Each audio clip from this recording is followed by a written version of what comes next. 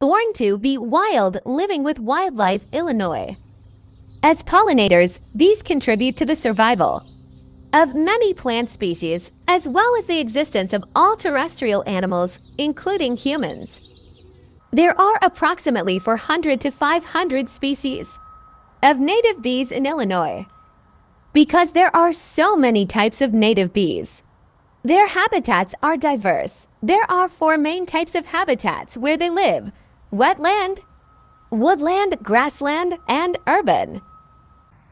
Most solitary bees nest in the ground.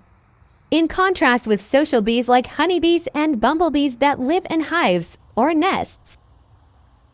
Pesticide exposure, habitat destruction, pest pressure, disease. Invasive species and climate change are some of the factors contributing to the decline of pollinators in the United States, more than 150 crop plants require pollinators, and their annual agricultural worth is $29 billion. Among the native plants that pollinators use include asters, bee balm, blazing star, cardinal flower, celandine poppy, coneflowers, milkweeds, ironweed, spiderwort, and the shrubs buttonbush, New Jersey tea, and spicebush few different ways to help bees in your backyard can include limiting the use of insecticides, providing garden shelters, and leaving plant stems.